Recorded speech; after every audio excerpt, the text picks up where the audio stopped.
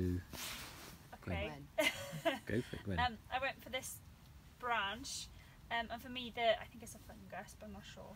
Which is why I'm not touching it too much. Um, is representing the ice, maybe in a story like the Snow Queen or something like that, sort of forming on the branches and turning anything from being natural into being, you know, the the ice kingdom or the snow kingdom. awesome. Thank you. Um, well, Snow White. I know I've got lots of red apples there, but um, maybe I could just use one of them from the story of Snow- Snow White. Yeah, thank you, sir. Um, this one I got a bit stuck with, but other people suggested. Um, perhaps the hand from Hansel and Gretel when they're trying to trick the witch into thinking that they're not fat enough. Mm, good one.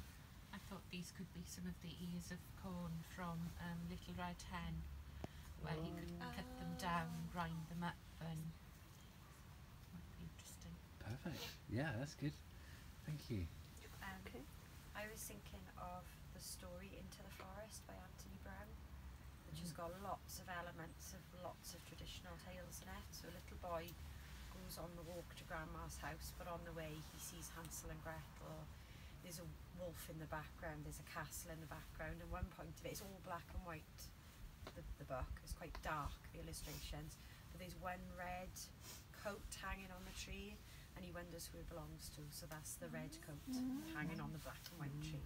Cool. Nice. I Thank went you. also for my class um, who would do like a sensory story of like going into the woods and looking at all the different things they would find, the different textures, the smells, the feelings, and then obviously go on to do like texture rubbings and things like that.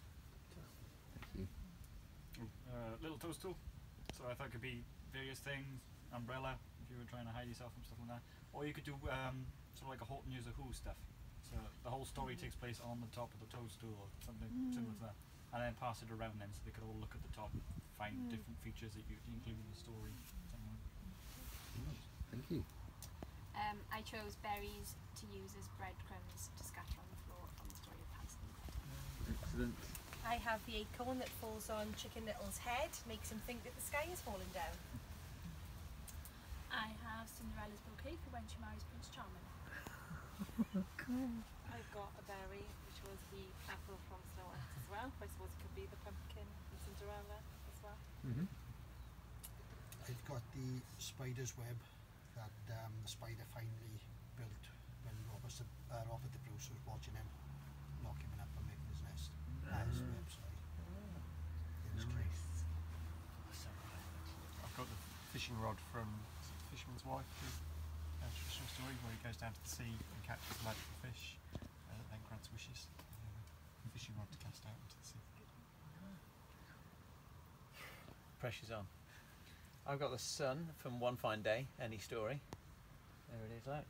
But being a bit corny, but uh, I was going down along the icicle front for these little catkins. So yeah, so it's looking like Frozen and uh, other like the Ice Queen stuff like that. Really, at the end of. Well, I think mine's going to be the feather from Robin Hood in his hat. Uh, yeah, Perfect.